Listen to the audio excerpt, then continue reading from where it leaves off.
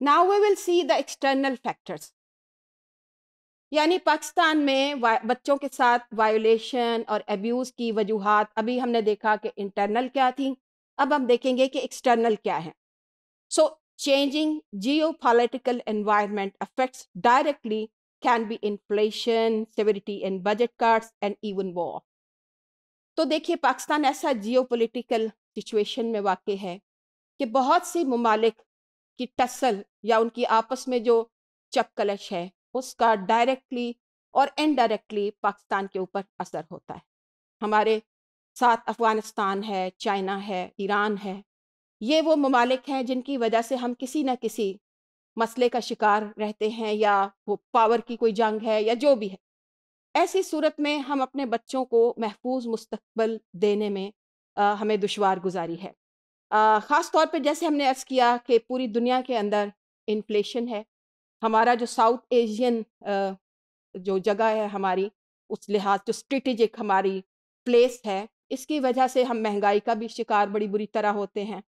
फिर हमारे जो कि बजट कट्स हैं, वो इस वजह से कि डिफरेंट कंट्रीज़ आपस में एक दूसरे से उलझे हुए हैं तो उसके असरात हमारे ऊपर आते हैं तो हमारे जो बजट्स हैं, वो उनको कट किया जाता है। दुनिया में कहीं कहीं भी जंगें हो रही हों, पाकिस्तान के उसके ऊपर बराह रास्त बिला वास्ता या बिल वास्ता कहीं ना कहीं असर ज़रूर होता है।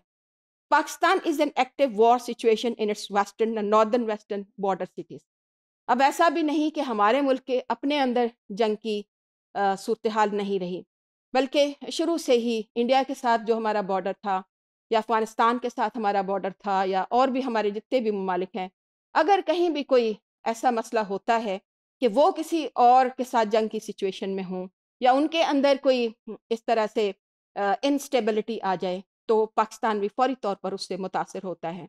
और कई दफ़ा तो ऐसा हुआ कि बहुत से मुल्कों से महाजरीन जो है, वो पाकिस्तान में आके रुके। तो ज़ाहिर है जब ऐसे केसेस होते हैं और हम ओवर पॉपुलेटेड भी हो जाते हैं, हमारे पहले से रिसोर्स भी कम हो जाते हैं तो फिर हम बच्चों के हकूक़ पे उस तरह से बात नहीं कर सकते। देन सवेयर टेररिज्म फिर ये भी शुरू से मसला कई दहाइयों से हमारा रहा है कि पाकिस्तान को दहशत गर्दी का निशाना बनाया गया मुखालिफ कुतों की वजह से और कुछ अंदरूनी कुतों की वजह से। तो अब जब टेररिज्म का शिकार होते हैं तो वहाँ जहाँ पे वालदेन या उनके घर मुतासर होते हैं, वहाँ बच्चे सबसे पहले, क्योंकि वो वलनरेबल हैं, कमज़ोर हैं, उनकी तालीम पे भी असर पड़ता है, उनकी सेहत पे भी असर पड़ता है और उनको और तरह की वायलेंस का भी शिकार होना पड़ता है। पकड़ धकड़ हो रही होती है, घरों को छोड़ रहा, छोड़ा जा रहा होता है तो ऐसी सूरत में बच्चे बहुत ज़्यादा मुतासर होते हैं। ये कुछ ऐसे एक्सटर्नल फैक्टर भी हैं, जिसकी वजह से हम समझते हैं कि हमारे जो बच्चे हैं, उनके हकूक़ की मुकम्मल तौर पर हम हिफाजत नहीं कर सकते। Differences in educational system. फिर अगर हम गौर से देखें तो हमारे एजुकेशनल सिस्टम के अंदर भी फ़र्क है। हम बैक वक्त प्राइवेट इदारे भी हमारे यहाँ जो ज़्यादातर इलीट स्कूल समझे जाते हैं या इदारे समझे जाते हैं। फिर पब्लिक स्कूल्स हैं फिर मदारस हैं। सबका अलग अलग तालीमी निज़ाम है जिसकी वजह से भी तफरक़ात पैदा होते हैं। और हम कोई यूनिफॉर्म पॉलिसी भी नहीं बना सकते कि जो सारों के अप्लाई होती है और सारे फिर उस पर एक साथ अमल करें। हर कोई अपनी जगह पे अपने कवानीन बना रहा है। So so, madrasa education system जो है उसमें यह है कि उनके अपना निज़ाम है। बहुत से हमारे जो मदरसे हैं वो रजिस्टर्ड हैं। लेकिन ताहाल ऐसे बहुत से हैं जो अभी तक रजिस्टर्ड भी नहीं।